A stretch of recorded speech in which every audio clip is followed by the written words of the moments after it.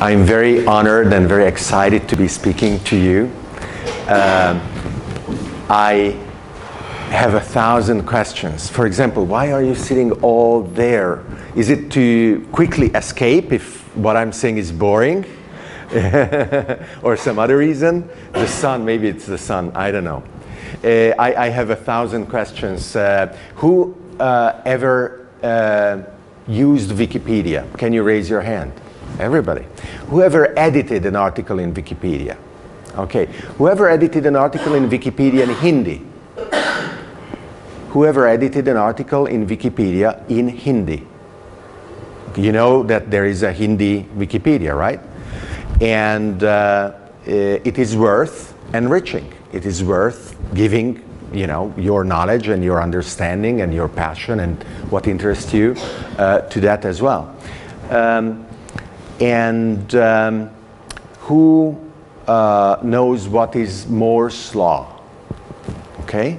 It, it, uh, do you know that it was the 50th anniversary of Moore's Law just a few weeks ago? Do you know how many data points uh, Gordon Moore had when he formulated his law? Um, guess, how many? Uh, 100, 1,000, uh, 10? It was four data points.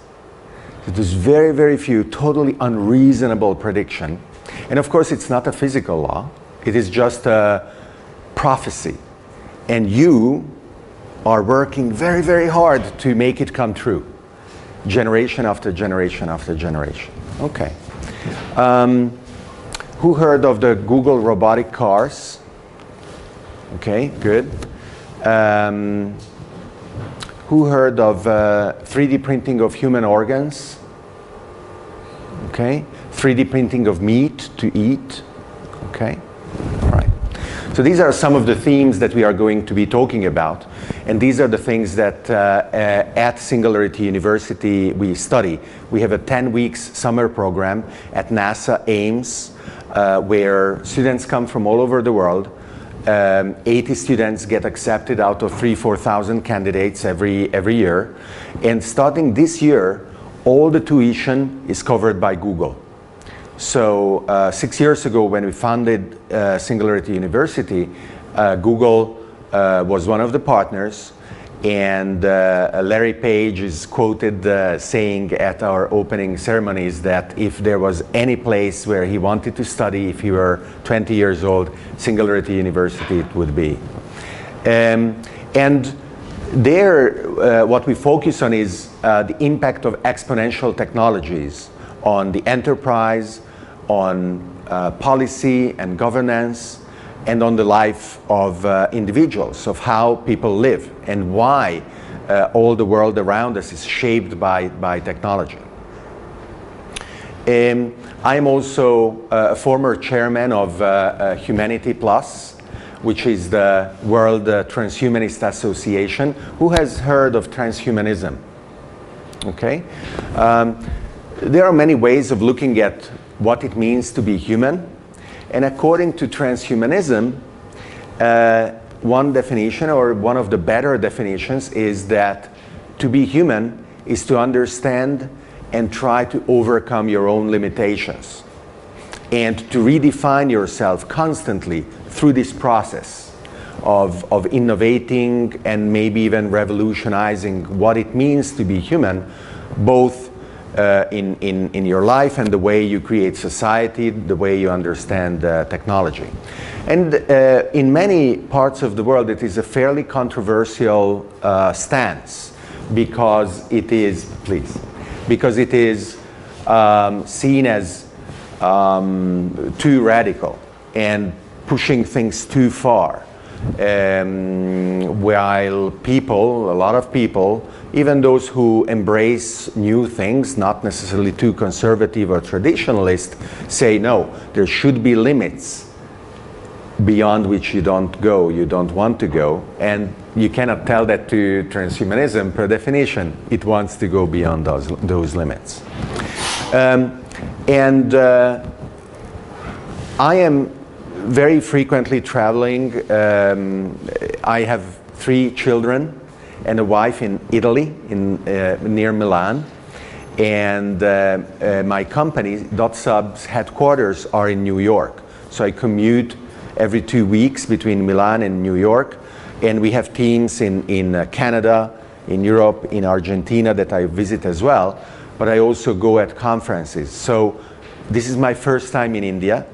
And uh, I arrived in New Delhi, spent a few days, organized a little meeting uh, yesterday, just at a cafe with a few people who on Facebook learned about the meeting and came. Um, tomorrow I will be going to Goa for other meetings, and then I will be speaking at TC World, which is a conference in Bangalore. And uh, then I will be in Spain, in Greece, back to China, then to New York, and so on. And the reason I'm telling you this is because in today's interconnected world, more and more people define themselves as tech nomadic. Nomadic, meaning that they travel around the world, but tech nomadic, so nomadism based on technology, where uh, if you have Wi Fi, you feel home. If uh, you have a, a, a place to charge your phone or your computer, you barely need anything else. Uh, and of course, you still need food, you need water, you need to sleep somewhere, you need to watch yourself uh, here and there. But still, uh, the, the, leveraging uh, uh, what you do is possible through uh, this technology, and it is available, of course, everywhere in the world. DVI was right, it is the sun. Don't you want to sit there too? You will be too close to the students? Okay. All right. So um, I will try to speak for not more than about 40 minutes in order to leave more to our questions. I have almost 200 slides. So it means that if you make the, the division, this will be almost a movie, going through slide after slide, and I hope uh, you will enjoy it. Um, since this rhythm is pretty intense, um, just take note of whatever comes into your mind and we will have a conversation afterwards rather than stopping me, okay? And um, let's see how it goes. So I told you about a little bit Singularity University. I didn't mention to you the latest uh, of, of uh, uh, the things that I, I did. Network Society Research is a nonprofit that I created in London and uh, which is um, um, now represented by uh, 22 ambassadors in 17 countries uh, to understand how going from centralized and hierarchical organizations, we are now possibly better off totally rethinking and re-architecting how we work in our societies and even how we live based on networks and decentralized and distributed organizations instead. Okay?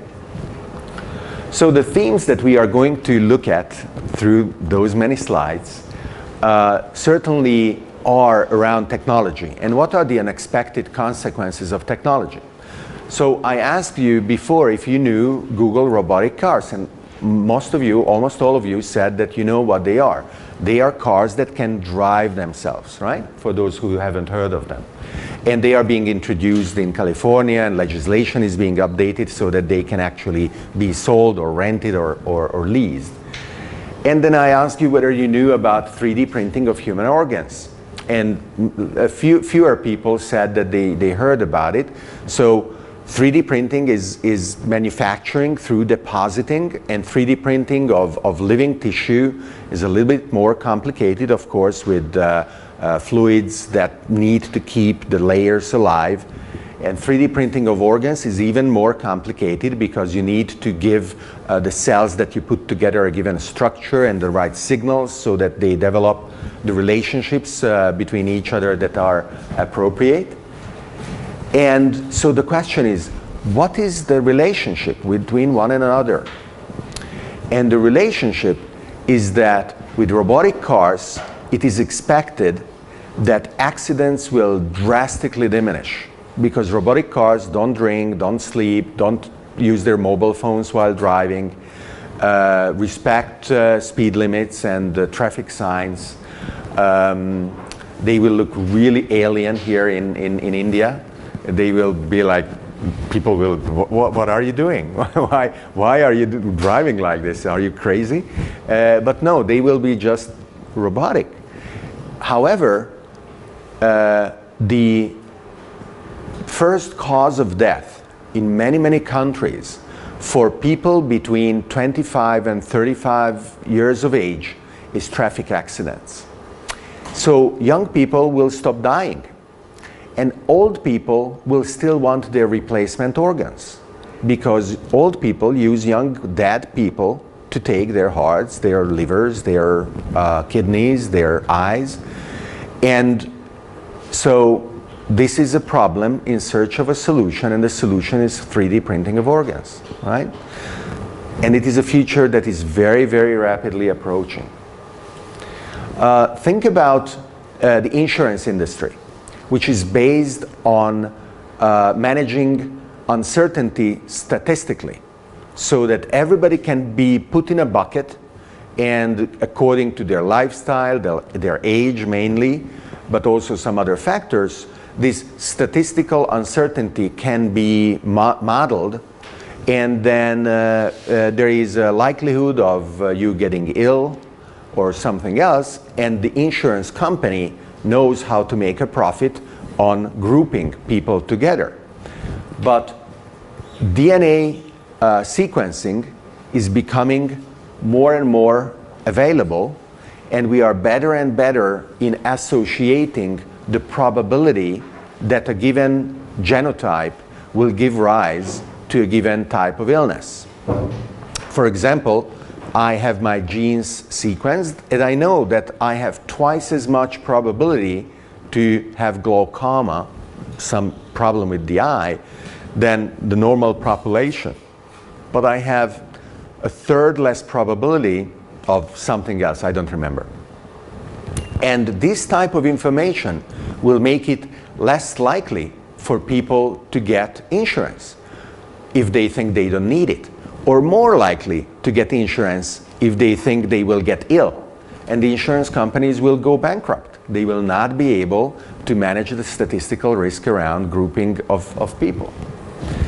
And of course, we are talking a lot about inequality and, and how in Western countries uh, also inequality is increasing, income inequality, and the distribution of wealth is accruing to fewer and fewer people, while the middle classes uh, are thinning out and maybe poverty is, is increasing too. Uh, and nobody knows exactly what the solution is, but companies, for example, those that are leveraging exponential technologies, are becoming incredibly effective in accumulating wealth. Apple Computers, for example, is now worth more than any other company on earth, and they have a hundred billion dollars in the bank. And that is the power of your ideas. That amount of money in the bank by the best company in the world means that your ideas are incredibly valuable because they are scarce. Apple doesn't know where to put the money. There are not enough good ideas around. So if you bring good ideas to the world, there is no scarcity of resources, of capital. Those are all very, very abundant. So exponential technologies, as I said, are what we study at Singularity University, and I really invite you to uh, look at it. Um, there will be the um, uh, selection of an Indian candidate winning a, a, a position at Singularity University through a local contest. And next year, if you, if you want, I don't know whether, what, what year you are at, uh, because I don't want to say that you need to drop out or you want to drop out, but even if this is a summer course, so you may just go for the course. Next year, you might want to enroll in this uh, uh, contest held here in India. It's called the Global Impact Competition in order to win possibly uh, uh, a seat at, uh, at Singularity University. This chart represents Moore's law, which is what we were talking about at the beginning. From a few thousand uh, mainframes to mini computers to workstations, then a few hundred million personal computers. Now we are at billions of mobile phones. But technology and its evolution is not stopping there, and the next generation of devices will count in the tens, the hundreds, and the thousands of billions. And the mobile phone is actually the last generation of products that can rely on us of managing them. The generations after, there will be so many that they will have to be designed, deployed, and managed through completely novel principles that have pretty little, very little to do with, with what we are accustomed to. And this exponential change confounds experts even more than, than uh, newcomers to a field. Experts know very well what cannot be done, and so their pattern recognition discards weak signals. Somebody like Gordon Moore in his time who believes in the power of just four data points and very strongly projects this message and everybody else around the world wants to prove him right and, and, and succeeds um, is part of the group that is able to latch on these weak signals.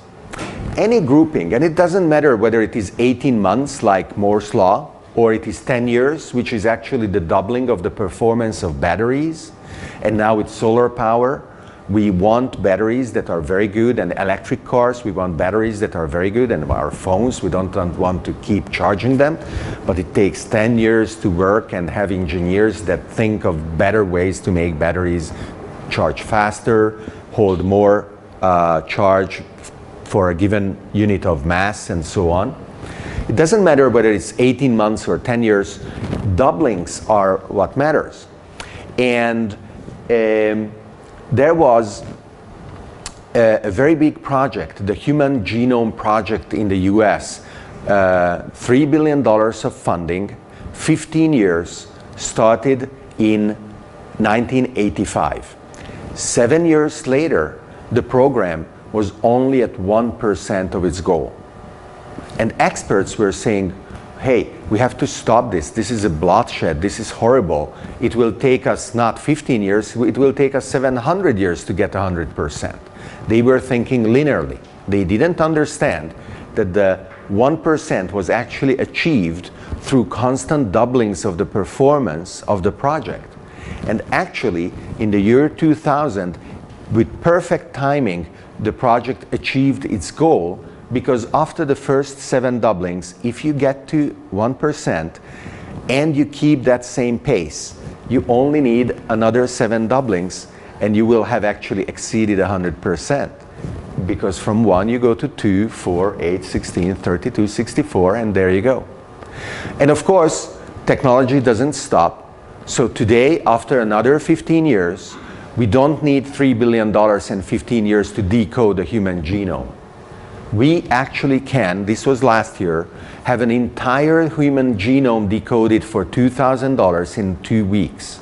But technology doesn't stop. So now it is projected that in 2020, an entire human genome will be decoded in real time by something like a sensor in your mobile phone or in an appliance in your home at the cost of two cents. So imagine in a world that uh, will make that kind of information available, what can be done with it. The President of the United States is followed and protected by the Secret Service that has many details. One of the details is the people who jump in front of the bullet, and another detail is following the President with a vacuum cleaner.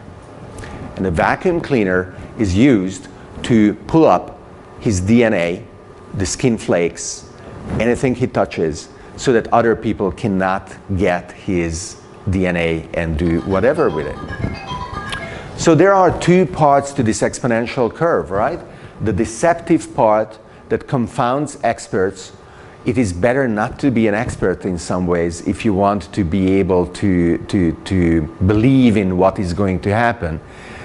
Um, and then another part that uh, allows everybody to jump on board and say, oh yeah, I knew it all the time. It was so clear. Um, William Gibson, the science, science fiction writer, uh, anybody read anything uh, by William Gibson? Do you like science fiction? Who likes science fiction? Good. Um, I will want some some advice from you what Hindi science fiction I should read in English. But still, what are your local favorite authors? Uh, William Gibson started in the 90s the cyberpunk movement in science fiction, and a few years later, he stopped writing science fiction about the future. He still writes very good books, and his books are in the present. And he's quoted saying, The future is already here, it's just not evenly distributed yet. And the future was always around. You know, people were dreaming of what could be achieved. But the point is that technology was not necessarily there to support them. And your dreams cannot be sustainable unless this technology basis is there. If you were an Egyptian slave and you uh, were dreaming of freeing yourself, of emancipating yourself, you could do nothing about it to change your condition. And in the Middle Ages, uh, there were the vassals and there were um, you know, very strict relationships between uh, the uh, noble class and the peasants. But technology kept evolving. And today in our industrial society, actually, fewer and fewer people are working the fields and feeding everybody else. Okay? And fewer and fewer people are working in factories and creating all the material objects that everybody else uses. And most of the people are working in types of jobs that require a lot of knowledge and a lot of skills and all the technology basis to make them possible. This is our globally connected uh, world today. The achievements that we have are incredible looking with the eyes from the past. And they are actually in the um, term of Paul Crutzen, a Nobel Prize winning uh, chemist who discovered the uh, ozone hole, uh, worthy of being defined uh, with a new word, which he says is the Anthropocene, the geological era characterizing today's world as the geological era defined by human presence on the planet. This chart, uh, originally designed by Daniel Dennett, a philosopher, is uh, representing uh, the global terrestrial biomass of vertebrates, dividing them in two groups uh, wildlife and humans, our pets, and our cattle. Okay? 10,000 years ago, the proportion was 99% in favor of wildlife. Today, on overall on the planet, uh, as demonstrated by the fact that it's three days I'm in New Delhi and I haven't seen an elephant yet, is totally in favor of people, our dogs, our cats, our cows, and whatever else. And this is certainly, clearly unsustainable. It is a situation that cannot go on. We don't have another continent to pillage. Uh, we Europeans went to America and changed it, went to everywhere else and changed it. Today, there are no new continents available. The method that we used for the past thousands of years to expand and to use up the resources that were available cannot be applied anymore. Actually, the question is, is the only difference between humans and dinosaurs is that they didn't have telescopes? And are we using both our physical telescopes at their best, as well as more metaphorically, our mental telescopes for exploring what we can about the world with science, with reason? The interaction of hardware, software, and design in computers as we create new chips and new operating systems and new applications is really amazing. A lot of people make the mistake of saying, well, exponentials are great, but hey, every exponential is bound to be exhausted because really what you are talking about is just the knee of the curve in an S curve, in a, in a logistics curve. But that is not what we mean by exponential acceleration of technology. What we mean is the uh, progressive replacement of technologies by new ones, and it is the compound curve that is exponential, not a single logistic curve. Transistors came after vacuum, vacuum cubes to tubes to uh, uh, be the building blocks of computers. Transistors were uh, replaced by integrated circuits, and integrated circuits are replaced now when we are reducing the uh, elementary components of computers uh, to uh, atomic levels, to nanoscale, by quantum computing, which is arriving at Singularity University at NASA. There is now a quantum computer that Google and NASA both together that Google used and studied for image recognition uh, processes and uh, it performs better than any classical approach, any classical um, uh, computer that they uh, put at the same task. And when computers started, they were blind and they were deaf. They knew nothing about the world. We had to teach them very, very painfully everything. And at the beginning, they didn't even have memory. When you turned them off, they forgot everything, and the day after, you still had to feed them the punch cards to start over from scratch. Then, with teletype computers, it became a little bit easier, and then we started using command line interfaces, still just for the specialists.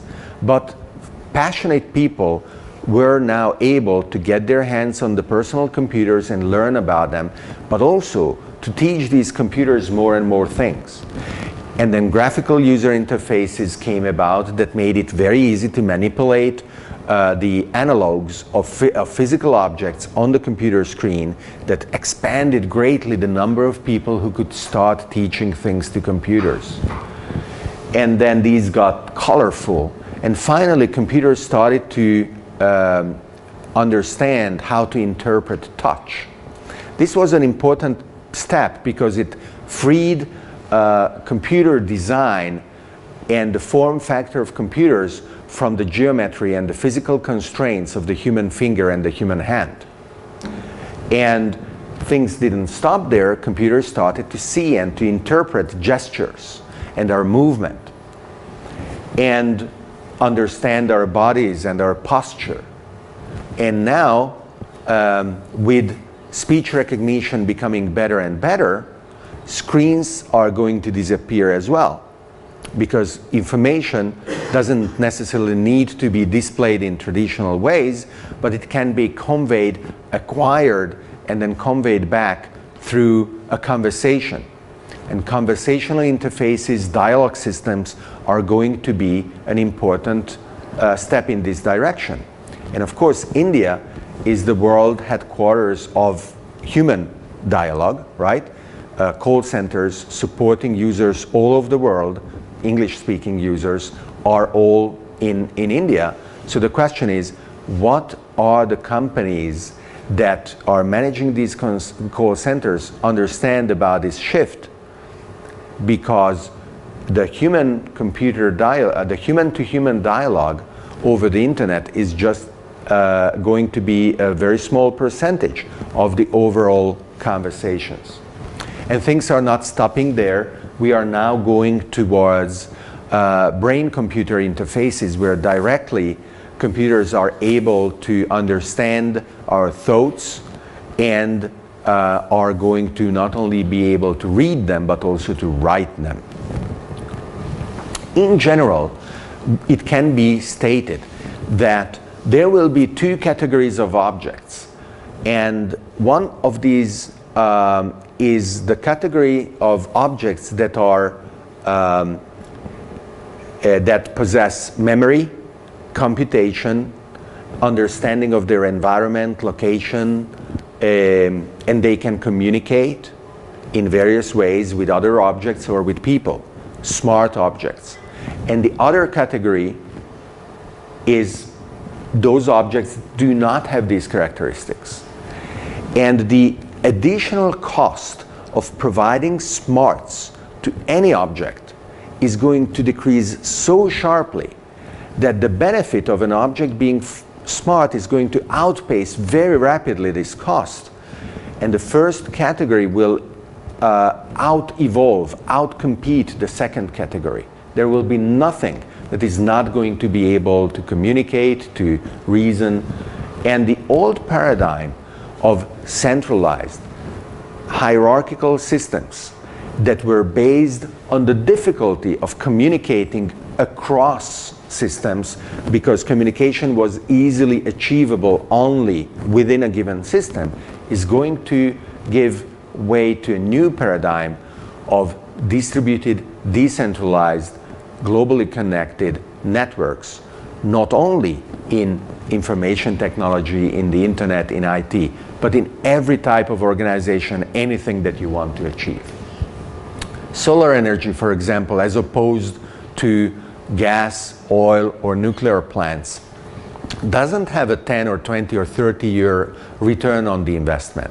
Anybody can decide to put a solar panel on his or her home or in the office. Apple Computers, once again, announced about a month ago a billion dollar investment in a solar plant to generate electricity for all their data centers and all their stores in California. 3D printing is distributed decentralized manufacturing. Rather than sending an order to China for a million pieces of something and then wait six months until they are ready, run an advertising campaign, you are able to create an object in your home or in your office. And, and Boeing, the aircraft maker, recently published a report. There are 20,000 3D printed parts in a Boeing airplane today. Okay? 20,000 3D printed parts. So it is not for prototypes, it's not for play. You trust your life when you fly to 3D printers. Think about uh, um, hydroponics, um, vertical gardens, urban gardening, 3D printing of meat. Uh, it is possible to totally rethink of how agriculture works uh, in controlled environments, no need of pesticides, uh, with as much variety of food as needed, and very importantly, with a radical reduction of energy, water, soil used because that is very scarce world over. And with the increasing population and with our desire to give good food, healthy food, abundant food to everybody, uh, it is now possible to transform agriculture from an activity that is proportional to the area occupied to one that grows with the volume. So imagine this building has six or seven or ten stories. Imagine if one of the stories was dedicated to growing the food of uh, the canteens that are uh, probably here uh, serving you lunch. Uh, and you would have solar panels on, on, on the roof giving energy both to this and to, to the rest of the activities. Personalized health with smartphones that enable you to uh, monitor your state of health rather than becoming ill and then go to a hospital to make sure that you understand your body quantitatively. Online learning, of course, the possibility of learning from the best teachers to use local interactions among students, among uh, uh, local professors to get deeper in the subject, but with knowledge available to anybody and everybody anytime. Um, finance is also a technology. It is easy to uh, point a finger and accuse banks and the financial system uh, to have caused the worldwide crisis in 2008 or the next one that is going to come whenever.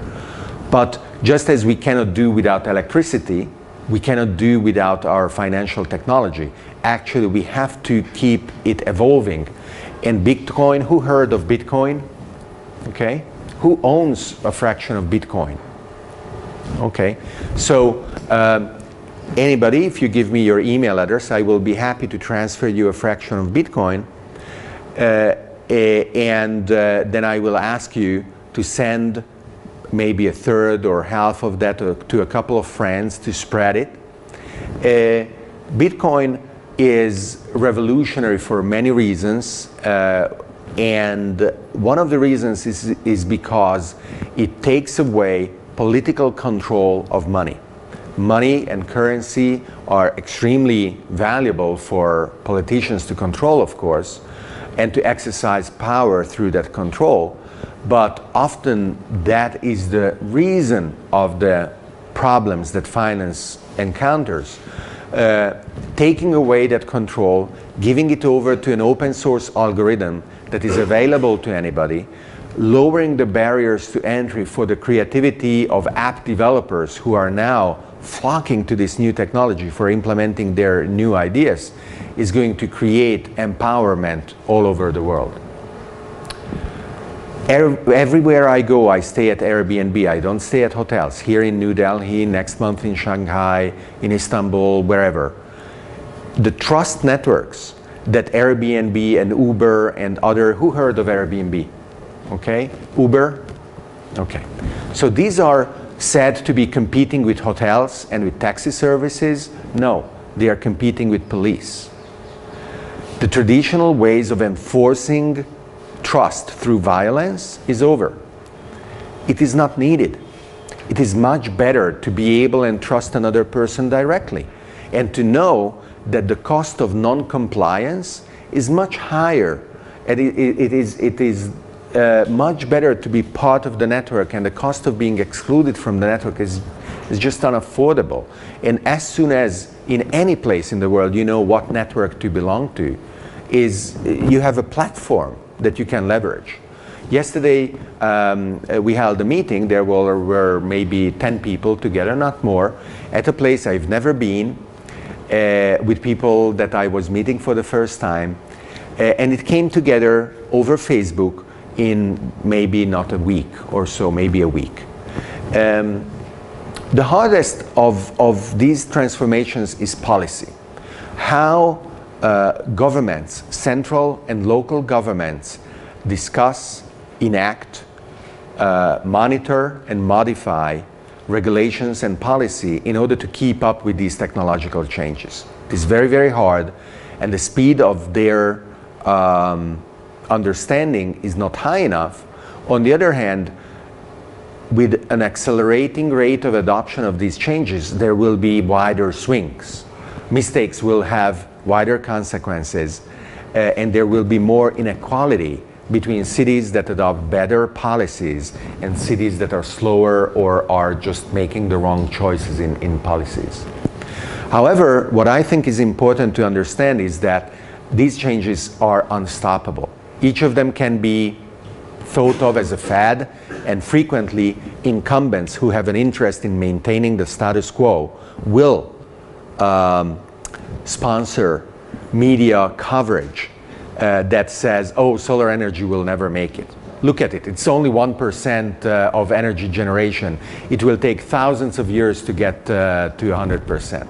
They don't understand exponentials. You understand exponentials now. I showed you that 1% means that games, the game is over, that the, the doublings are going to keep going. And this, these are the things that we are talking about at Network Society. The future is coming. You know, we are all time travelers. I don't know whom, who, uh, which of you have seen the, the, the movie here. Uh, we are all time travelers at one minute per minute. Okay? And future is the place where we are all going together. And whether you look at New York or you look at Shanghai, you don't even see the difference. Uh, our global civilization needs solutions that can be very rapidly brought from one place to another.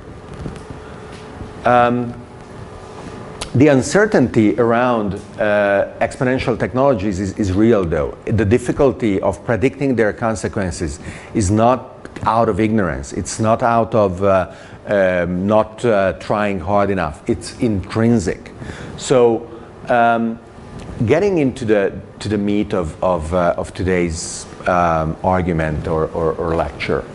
I told you about uh, the fact that, uh, in my opinion, uh, this is the last generation of machines or mobile phones that can rely on us to do things that they need, right? And we believe that, that uh, we are in charge, and sometimes we are, but uh, it is really a co-evolution of, of uh, will and desire and objectives. Uh, when I uh, learn how to use my phone and I set up my alarm right, that's great. But if the phone is muted and the alarm is not sounding, then I, I was wrong. I, I cannot use it the way I want. When the phone starts flashing some signal on the screen to say it needs to be recharged, uh, I am programmed to feel anxious if I cannot charge a wall socket. And it will be my main purpose, wherever I am, whatever I do, to recharge the phone. Um, but if a thousand devices want me to uh, keep an eye on them and recharge them all the time, I won't be able to. I will just give up, throw in the towel. But these devices are going to come nonetheless, and it is not about recharging alone. Of course, it is about uh, managing their, their deployment. How do they get into the environment? For example, today mobile phones are everywhere humans are. Obviously, we bring them everywhere. Uh, but sensors in the environment need to be deployed, need to be managed. Um, who heard of IPv4, IPv6? Okay, so today's internet is broken because of IPv4. The um, symmetry uh, between computers has been substituted by an unnecessary distinction between client and server it's wrong. Uh, uh, network address uh, transversal or translation, NAT, I don't remember the acronym what it stands for, that allows Skype to punch a hole in firewalls and establish communications across networks is, is a kludge. And we suffer from it. You know, the entire architecture of Facebook is predicated on this asymmetry, and it's wrong. With IPv6, we now are in the position of re-establishing the original architecture of the internet that was peer-to-peer, no difference between devices, and networks that participate paritatically in providing value to the users. Um, I don't remember exactly, but uh, people are saying, well, won't IPv6 addresses also get exhausted? So I made a calculation once, and I calculated, I think it is something like 21 quadrillion humans could be mapped with an IPv6 address for each of their cells. So we have plenty of IPv6 addresses. Um, and the, the, uh, there is a, a beautiful um, tale, well, many, making a difference between maps and territories Maps are always an approximation of a territory of physical reality. Well, we are now in the process of mapping our territory, our physical reality, at an approximation that is arbitrarily fine. We are really getting into the details, potentially mapping both in space and in time reality around us in order to find the best way to drive value out of it. And this value stack the web of data generating the knowledge, the Web 2.0 social network applications, mapping relationships between humans are now going to go into the Internet of Things, understanding the world and mapping value uh, in the world. Autonomous devices are already real.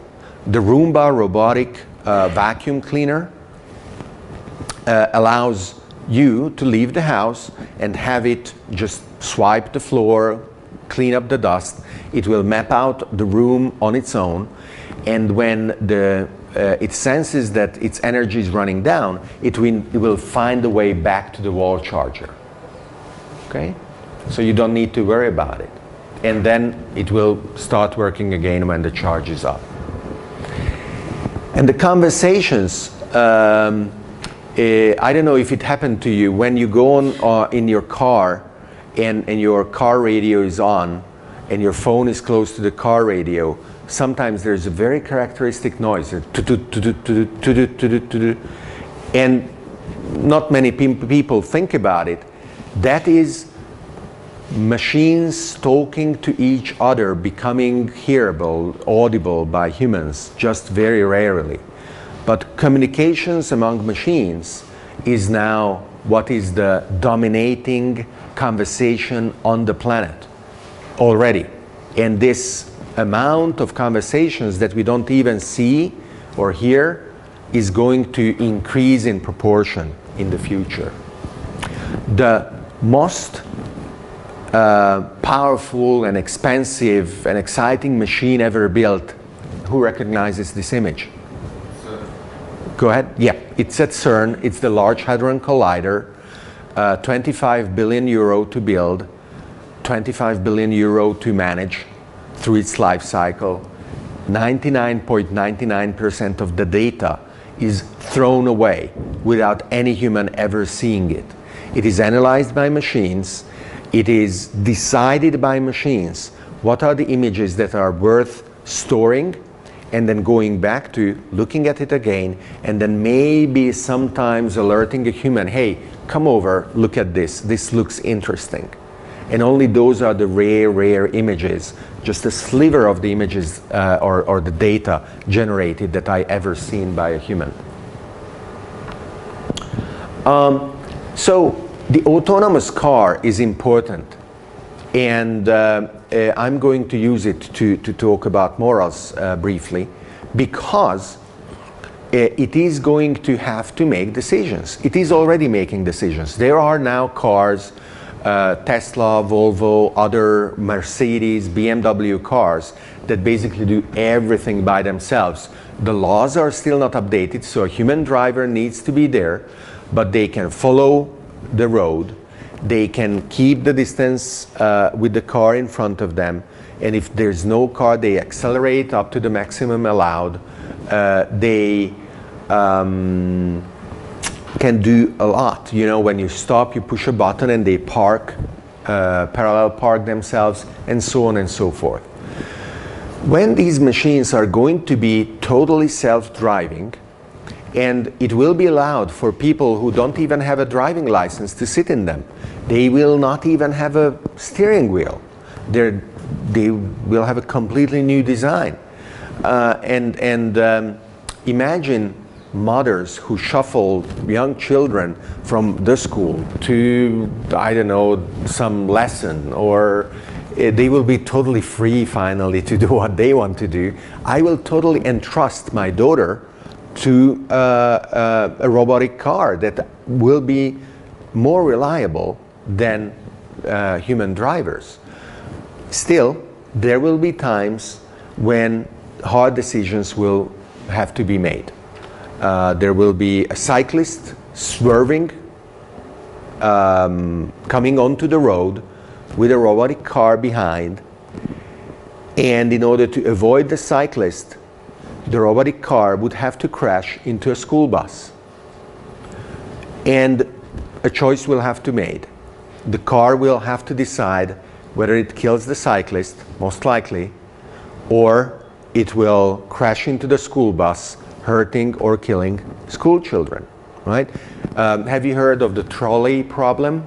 Okay, so the classical trolley problem faced by the robotic car and it is very simply not possible to do this without a sound basis, first scientifically, and then in terms of implementation of what it means to make moral choices.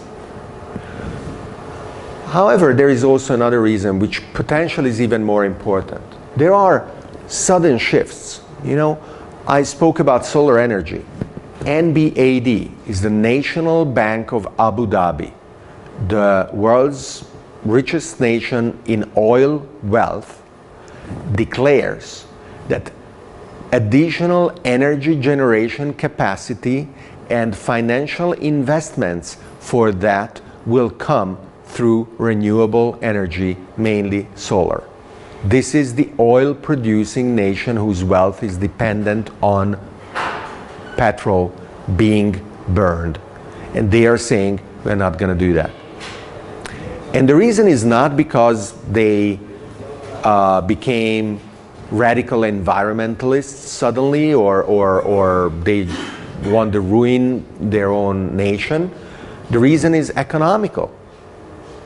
Now solar energy is competitive with any other kind of generation and they understand it. This is a chemical film. For 100 years, Kodak, the film company, was um, a leading, world leading brand, 110,000 workers, and they didn't understand the digital shift and the digital camera revolution and the app revolution, and they are bankrupt. They are gone. And a dozen people can create an app like Instagram, both for more than $10 billion by Facebook, in a completely different manner, in a completely different world. Sudden shifts happen. And the Internet of Everything, the Internet of Things, is going to represent such a sudden shift where we will have to make hard choices about the fundamental architecture. And we have to be very alert of what the consequences of these choices are. IPv4, for example, was okay for the time, but very quickly, in merely 20, 30 years, its problems created the world uh, of privacy breaches, of government spying, uh, of uh, vulnerabilities, of cybercrime that are a direct consequence of architectural mistakes. Computers are going to be able to read and write our emotions. Um, the way our DNA is sequenced and then this DNA is printed, the way our emotions are read, and the way emotions then are printed is becoming more and more sophisticated. Soon you will be able to um, understand why Facebook is not at all an exception in running this experiment where they were looking at showing you uh, positive news or negative news on your uh, um, on your wall and then seeing whether you would be more positively or negatively uh, expressing yourself in your posts. They were writing your emotions. And this could be positive, you know, this could be a good thing.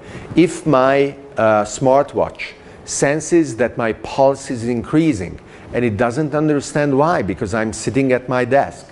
But then looking at my calendar, it sees that a phone call is coming up with my boss and it can decide to play a soothing music and then see the feedback that my heartbeat is slowing down, the phone call comes, and it goes all well. This is a very good application that is already doable today. So who heard of uh, IBM Watson? IBM Watson uh, is a supercomputer that is not connected to the internet that won an American uh, show um, where you need to answer questions that contain jokes, wordplay, irony, uh, all kinds of tricks to, to, to fool you, beating the human champions uh, of all time. And it did it by being able to digest and cross correlate non structured data, not databases, but Wikipedia, books, and, and, and things like that. And now IBM is applying it in healthcare, where doctors are on average between five and 10 years behind in research. Uh, so they are diagnosing you and prescribing you um, uh, treatments that do not correspond to what is the current scientific understanding. With a, an assistant like Watson, they will be able to represent the human relationship necessary in a, in a patient physician uh, relationship, but advise you much, much better. Google's DeepMind has been recently announced uh, as being able to play at superhuman um, abilities 50 video games from the 80s um, without having been taught how to play them. The computer received feedback and it developed the understanding of the video game through deep learning algorithms that is now an approach being more and more widely applied for teaching computers how to understand the world. Artificial intelligence is coming, and it is going to be one of those sudden shifts like solar in the Middle East or digital from chemical in imaging, and we have to be ready. We have always used computers also to be better ourselves, but this shift is going to be different because those machines are going to be, as I said, completely autonomous. Also, since they are able to learn totally generally, they are going to be able to apply introspection to their own states. And they are going to be able to access their own source code. It took us 10,000 years to even start to understand our DNA, to even start to understand how our brain works. But AIs are going to be able to understand how they work immediately and then start to apply their optimizing uh, treats, their optimizing passion to make themselves better, to improve themselves. It will not be possible to intervene after the fact. Once this genie is out of the bottle, it is going to be defining its own direction, but it is very important to put it on the right track. And yes, it is going to develop First of all, we are talking about AI in the singular. It is going to be much better to talk about AI in the plural. So I want you to think about it as a Cambrian explosion of intelligence. Today, there is just one species that we think is intelligent, and tomorrow there will be millions. And there will be conflict among these behaviors and these species too. So there will be an evolution through this pressure to evolve moral systems in AIs too. But we should prevent that to be happening merely on, a, on an evolutionary term because the end point of that might not be the point where we want them to arrive. We want them to build together with us a global society on Earth, on Mars, in space, wherever we will go together, that is respectful of human values and it is respectful of human individuals. And the only way to do that is to start with the right steps. That is why we need to take on the challenge of understanding how we can create an infrastructure and a superstructure that incorporates moral and ethical reasoning in our devices. We cannot postpone that. In, in a lot of areas, you know, uh, when we knew nothing about the world, we looked at the moon, and the only way, and the sun, and the only way we could think about it was in metaphysical terms. In religious terms, in terms of legends and myths, and then we started to understand astronomy, and we could think about those objects and those phenomena in scientific terms. For a lot of people, to think about ethics and morality in scientific terms is blasphemy. And it will be conflictual and controversial in human societies to dare and go there, to go beyond our current limits and to say, well, yes, I understand that was the case. Your religion, your belief system, has certain dictates in terms of what is moral, what is not moral. And on top of that, or alongside with that, we will now also a science of morals, an engineering of morals. And it will not be easy. A lot of people will oppose that. But I think that if we do not take on this challenge of understanding scientific morality and then incorporating it into our devices, the evolution of autonomous machines will proceed with disregard to human uh, wellness and to uh, the objectives and the respect of, of humanity. So I would like to stop here. Uh, thank you very much. And I would like to open it up to your questions. All right, go ahead.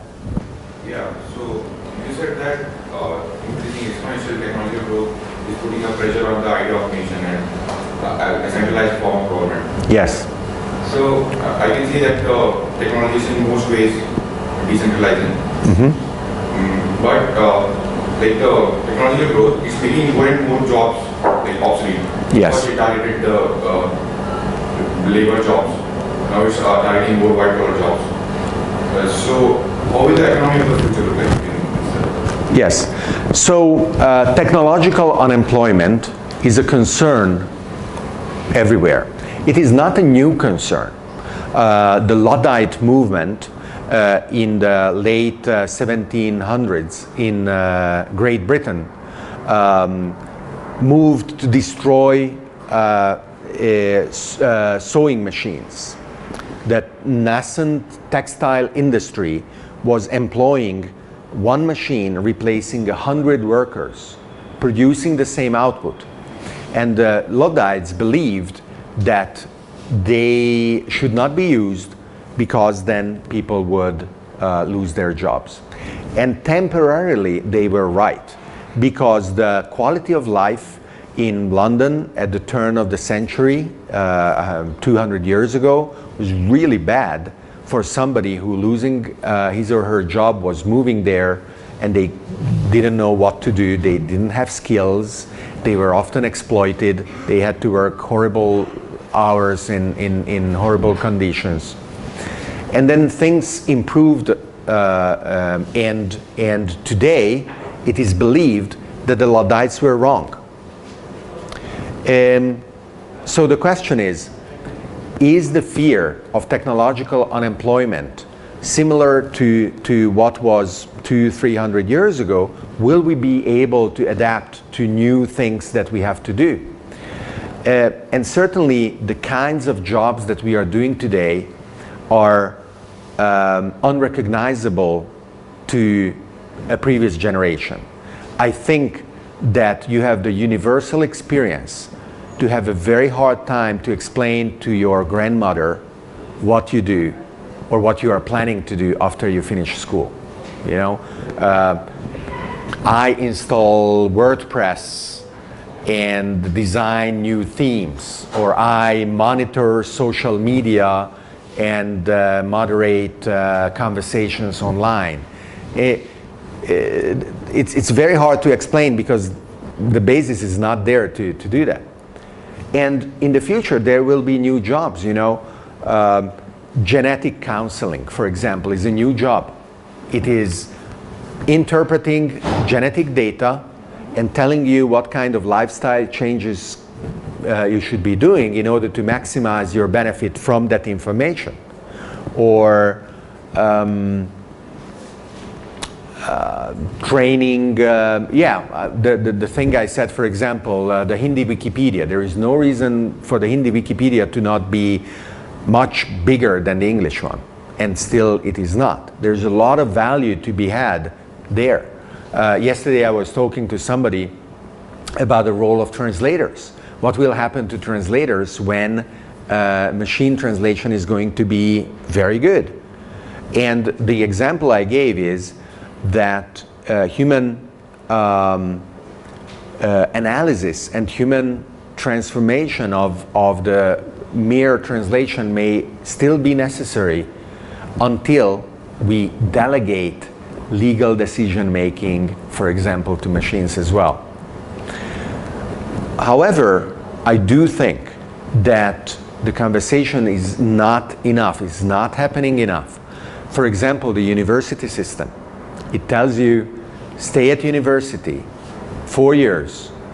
We tell you what to study year after year because we know. And after four years, when you graduate, we guarantee you will have a great job. And maybe in India, but in America for the past 10, 20 years, this was not true. And there is a perfect illustration of this. 1 trillion dollars of student loans are outstanding. These are people who took out money in order to pay for their education, who haven't paid it back yet because their earnings did not increase enough, and they cannot go away from that.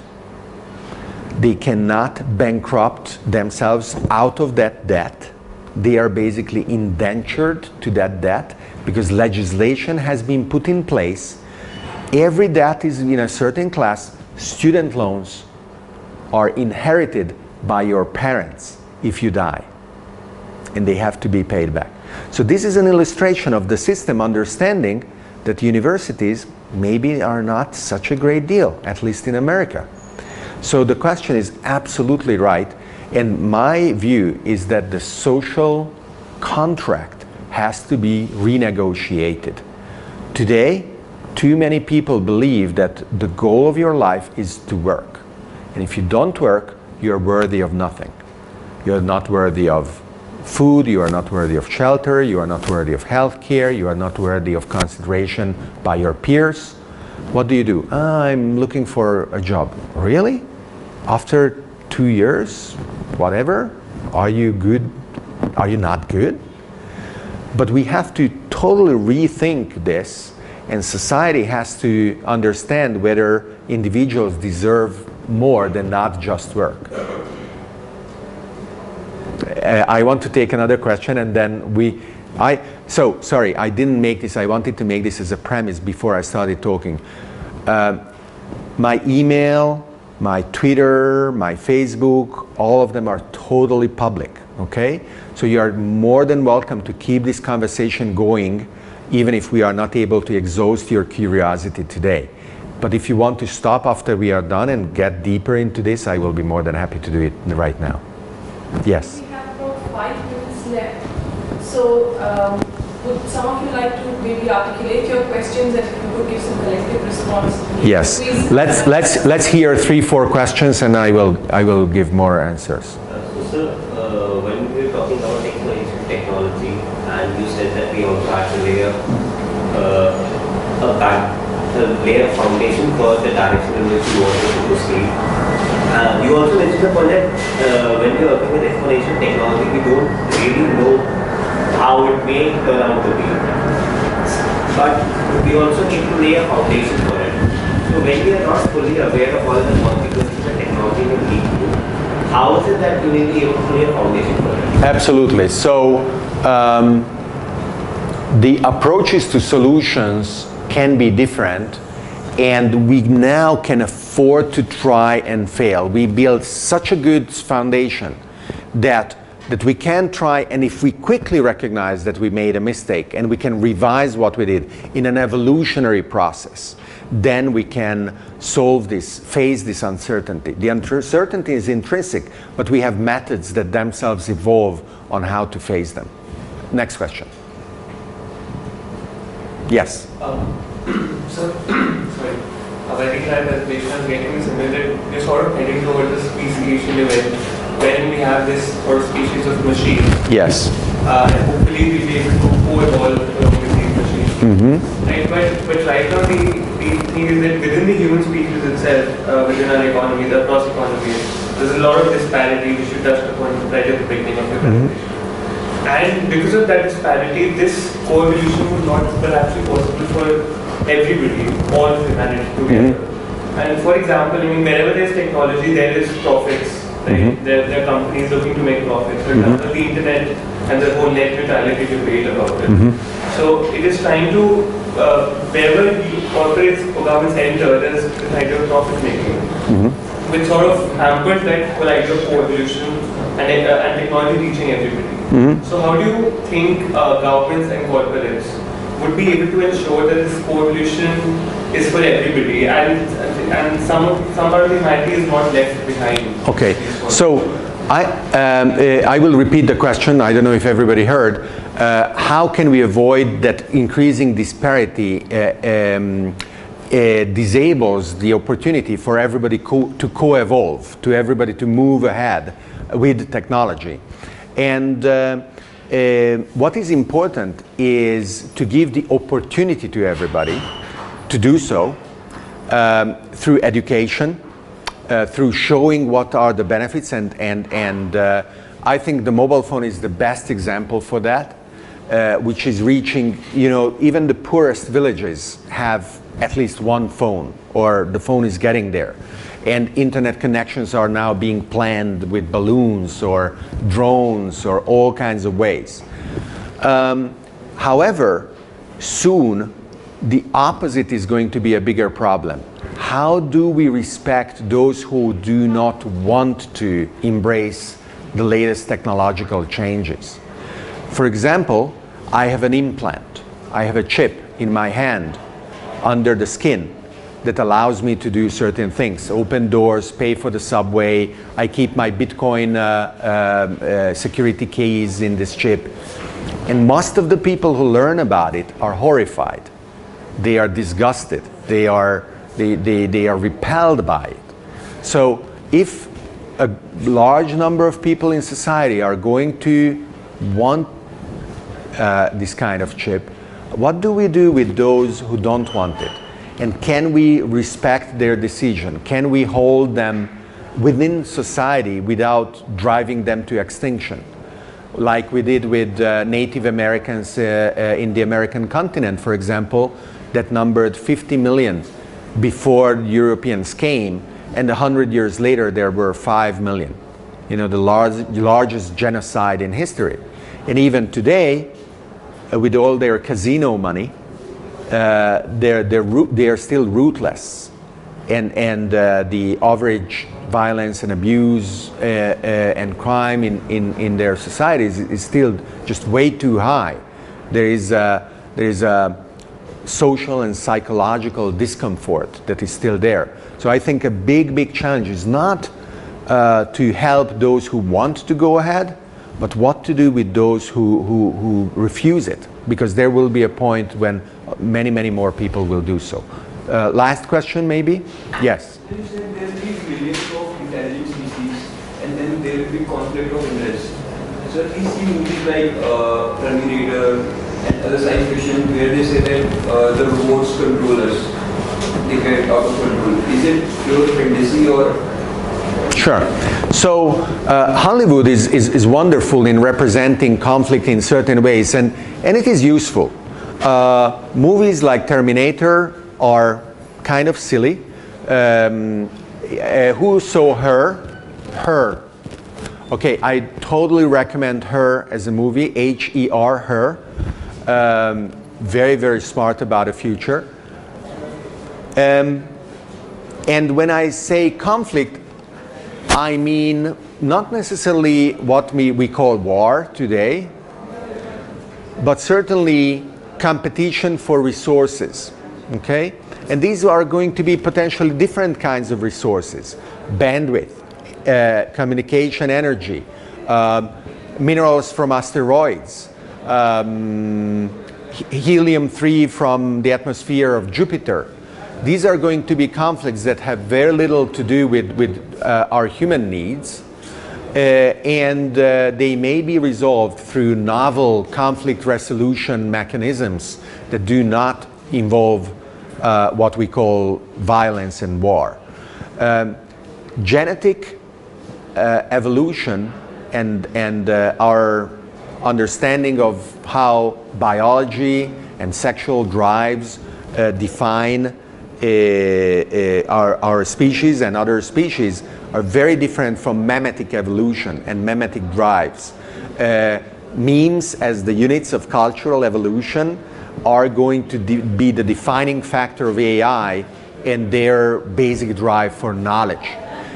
I think that Earth is wonderful, but very soon they will start looking outwards in the universe because there's so much more to be known and they will be able to uh, adapt themselves much more rapidly to space exploration than not us. So the vast majority of their concerns and their interests and their adventures are going to be out in the universe. And we will stay here and hear news of what's going on and try to understand and barely glimpse the meaning. but uh, we will be proud because they will be our children. Okay? Thank you.